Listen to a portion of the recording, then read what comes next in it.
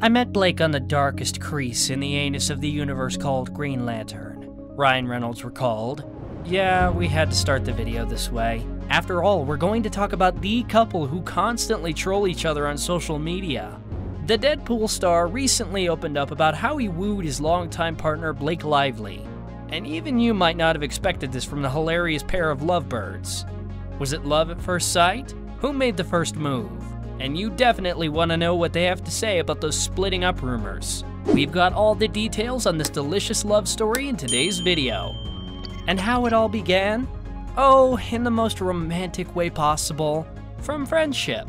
When the Gossip Girl star was cast in Reynolds' first superhero try, yeah, there's no better way to put it, Green Lantern back in 2010, they were both otherwise engaged. Ryan was two years into his marriage with another Hollywood A-lister, Scarlett Johansson, while Lively was dating co-star Penn Badgley. A romance with Leonardo DiCaprio was soon to come. So the couple first became buddies, as Reynolds put it, while indulging in Lively's homemade cupcakes when they were shooting the movie.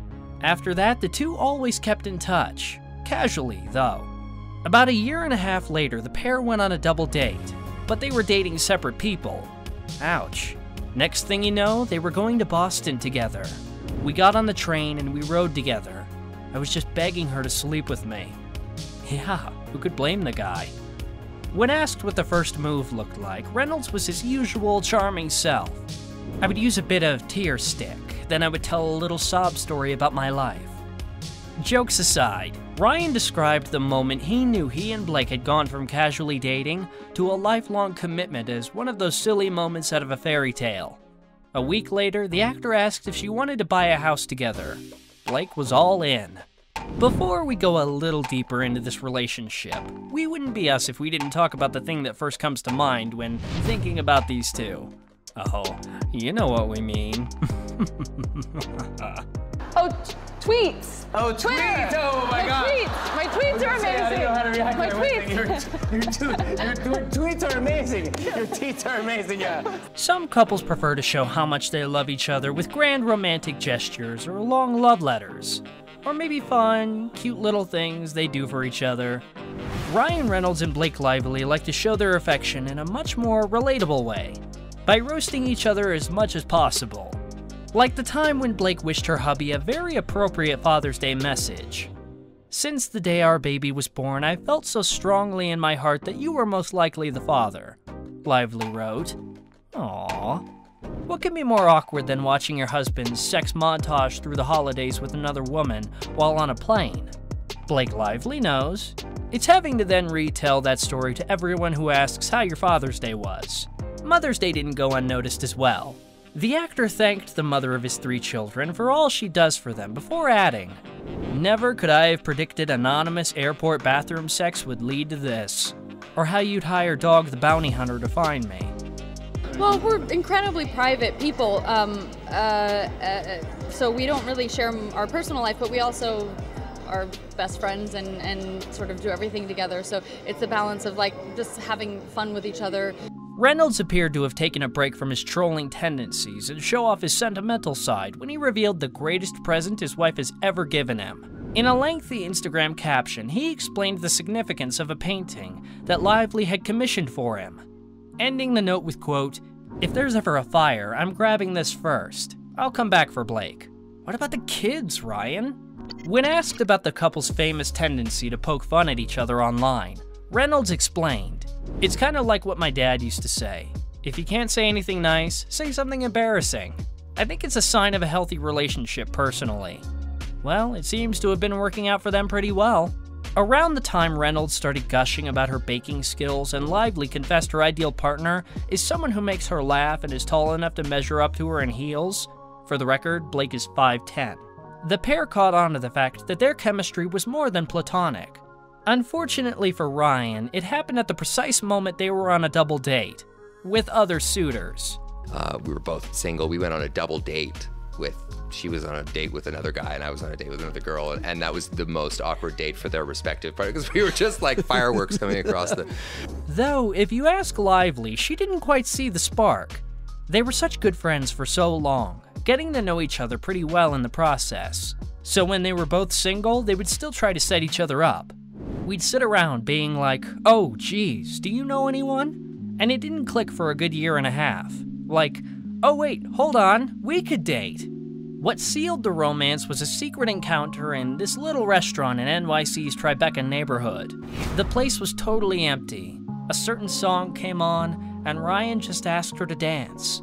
It was just one of those moments where halfway through the dance, it was like, quote, oh, I think I just crossed a line. And then he walked her home.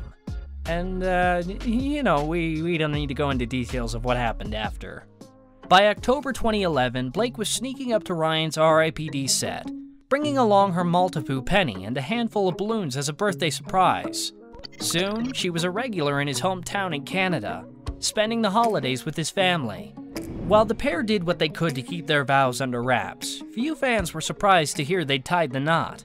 Our wedding was becoming a disaster, and we didn't know what to do. So we called Martha, as in Martha Stewart. The DIY Empress dispatched a team to Charleston, and later, carefully selected photos appeared in Martha Stewart weddings. Moving from more than friends to married in less than a year is the type of behavior that typically earns relationships the whirlwind romance description. But for the longtime pals, it simply didn't make sense to wait any longer. The biggest thing for Lively was the fact that she'd never known anything like the friendship she had with Reynolds. I knew he would always be my best friend. While not necessarily intentional, the Hitman's bodyguard star agrees that their friends first strategy has served them well. I think the best way to have a relationship is to start as friends. It also doesn't hurt to be extraordinarily well matched. Both have spoken about the desire to mimic their large families.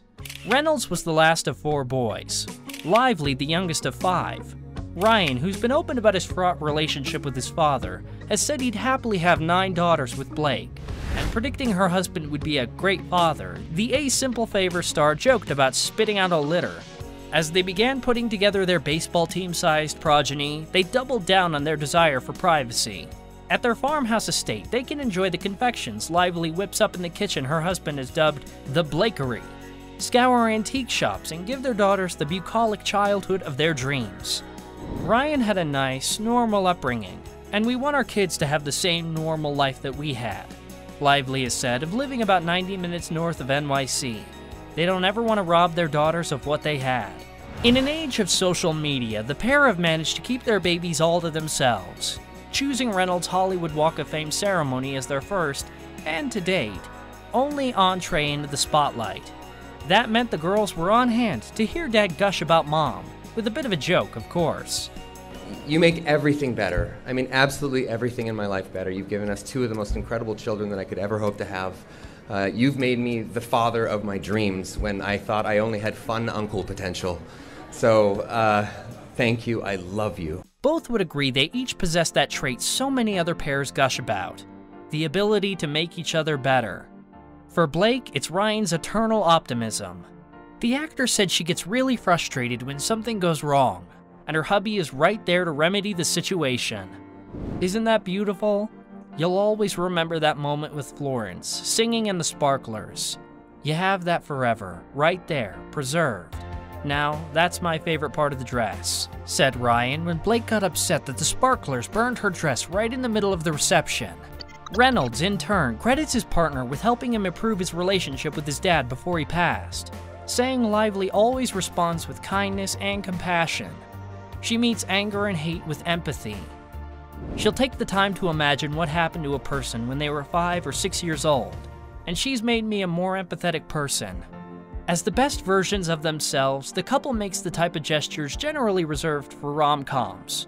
For example, Blake once revealed that she gifted Ryan a collection of short stories penned by loved ones while the actor put together a video of messages for his bride from all the people that made an impact in my life. Wow, who can top that, we ask? And then there's that other endearing quality they share. While Reynolds' witty remarks get the lion's share of attention, his wife is even higher up the list. Her humor is so dry. She said that it can be challenging for those on the receiving end to know she's not serious. When I say something funny, I don't laugh, she has explained but her friends know what's up. It's when the actor is around some new people, and then the gloves come off. This person doesn't know I'm funny, they think I'm just a jerk. When it comes to Reynolds, though, she never needs to hold back. and when your bond is unshakable, there's no harm in poking at it just a little, nor is it necessary to worry about others' perceptions. When Blake and Ryan took their turn on the split rumor merry-go-round, the natural response was a joke. I wish, Reynolds tweeted, referencing a report that they'd been struggling to spend time together.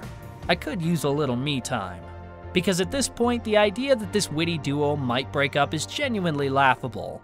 In nearly 10 years together, they haven't managed to spend even 8 days apart at a time, thanks to their decision to rotate jobs, so they can always travel to film sets as a family. And for all their picturesque getaways and black tie affairs, they're still happiest in their upstate New York home.